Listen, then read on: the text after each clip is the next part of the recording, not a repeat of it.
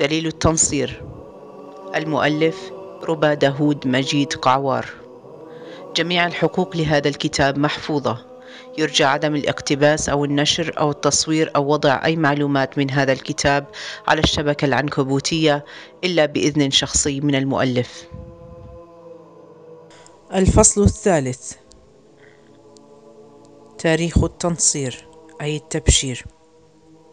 الجزء الثاني المسيح والتلاميذ. لم يكن المسيح الشخص الوحيد الذي أرسل لتبشير خراف إسرائيل الضالة في تلك الفترة. وإنما ذكر الكتاب المقدس النبي حنا بنت فنوئيل وزكريا رئيس الكهنة وابنه يوحنا المعمدان يحيى عليهما السلام. ففي إنجيل متى 3 واحد يقول وفي تلك الأيام جاء يوحنا المعمدان يكرز في برية اليهودية قائلا توبوا لأنه قد اقترب ملكوت السماوات. وقد كان ليوحنا المعمدان تلاميذ يدربهم كما ليسوع المسيح. استخدم المسيح أسلوب إرسال مجموعات من التلاميذ أي الحواريين الذين كانوا تحت تدريبه مباشرة كي يذهبوا إلى العالم ويخبروا بالبشارة السارة كما هو مذكور في إنجيل لوقا عشر واحد. فيقول وبعد ذلك عين يسوع سبعين آخرين أيضا. وأرسلهم اثنين اثنين أمام وجهه إلى كل مدينة وموضع حيث كان هو مزمعا أن يأتي. فقال لهم إن الحصاد كثير ولكن الفعل قليلون. فاطلبوا من رب الحصاد أن يرسل فعلة إلى حصاده. اذهبوا ها أنا أرسلكم مثل حملان بين ذئاب. لا تحملوا كيسا ولا مزودا ولا أحذية ولا تسلموا على أحد في الطريق. وأي بيت دخلتموه فقولوا اولا سلام لهذا البيت. فإن كان هناك ابن السلام يحل سلامكم عليه وإلا فيرجع إليكم. وأقيموا في ذلك البيت آكلين وشاربين مما عندهم لأن الفاعل مستحق أجرته. لا تنتقلوا من بيت إلى آخر. وأية مدينة دخلتموها وقبلوكم فكلوا مما يقدم لكم واشفوا المرضى الذين فيها وقولوا لهم قد اقترب منكم ملكوت الله. وأية مدينة دخلتموها ولم يقبلوكم فاخرجوا إلى شوارعها وقولوا حتى الغبار الذي لصق بنا من مدينتكم ننفضه لكم. نلاحظ من هذا النص النقاط التالية. يجب على المبشر أن يكون لديه مرافق وهذا المرافق يعينه ويساعده إما نفسيا أو عمليا فنفسيا يكون سندا له في الغربة وعمليا إما بمساعدته أو مراقبة أعماله وتقويمها في حال وجود أي خطأ وتشجيعه على عمله باستمرار. لم يرسل المسيح تلاميذه إلى مدينة واحدة وإنما فرقهم إلى عدة مدن لإيصال الرسالة. ثالثا تشبيه الناس بالزرع الذي يحصد وأن المبشرين هم الذين يزرعون الرسالة في الحقول. رابعا ينبه المسيح تلاميذه بوجود عوائق ومحن وصعوبات فهو يشبههم بحملان بين ذئاب. خامسا سبب أمر المسيح تلاميذه بعدم أخذ أي مزود أو التسليم على أحد كي تكون رسالتهم مركزة وأن لا يهتموا بالمادة والشكل والمظهر وإنما يهتمون بالرسالة المعطاة لهم لإيصالها للناس.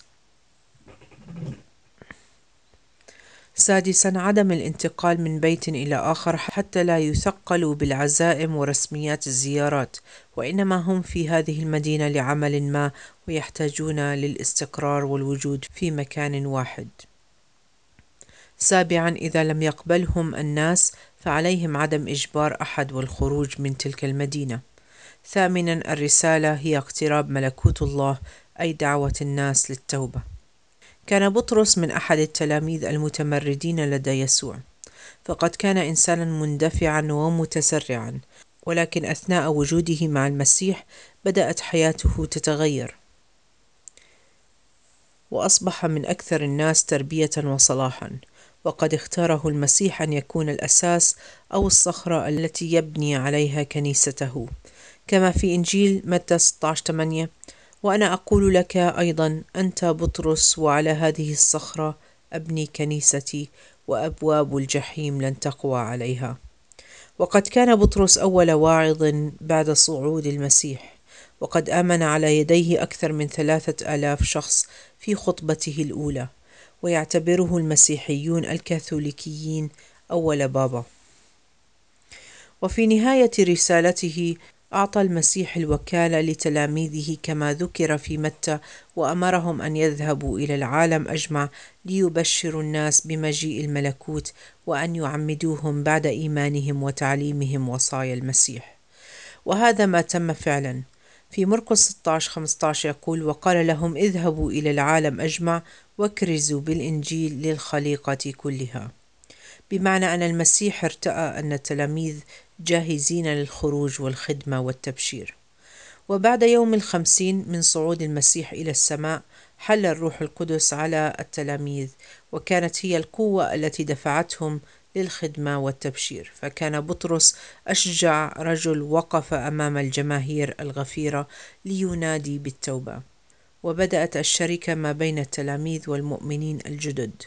ويجب أن نشير أن ما ساعد في إنجاح المؤمنين في التبشير هو التعليم.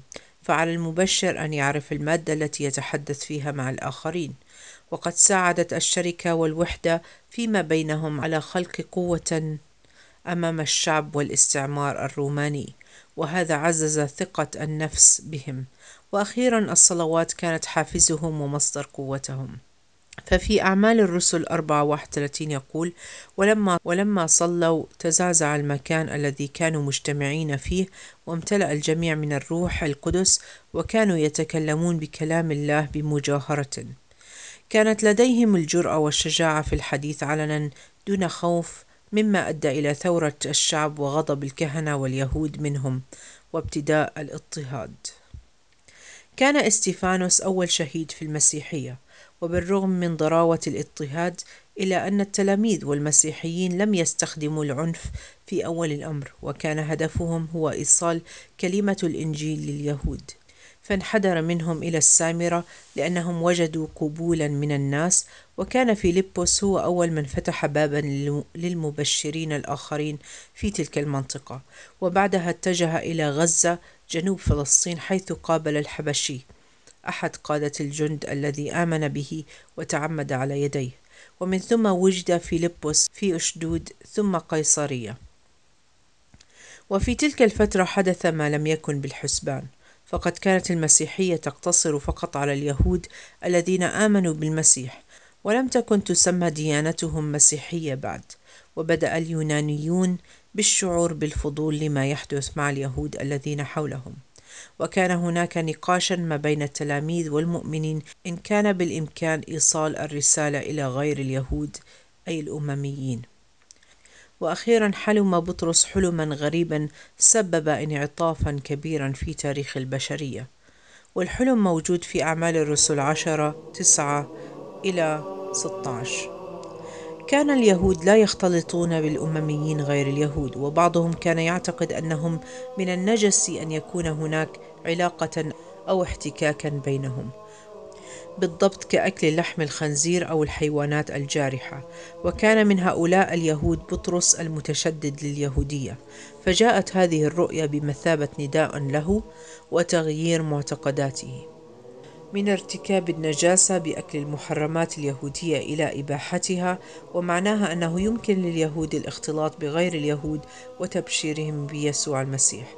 أدت هذه الرؤية إلى تحويل إيمان اليهود بالمسيح إلى غير اليهود ولكن بتحفظ شديد إلى أن جاء بولس وروج فكرة تبشير العالم أجمع دون تفريق بين يهودي وغير يهودي. وكان كارنيليوس قائدا رومانيا هو أول من آمن مع عائلته من غير اليهود على يد التلميذ بطرس. وفي عام 42 للميلاد ذهب التلميذ مرقس إلى مصر لنشر معتقداته.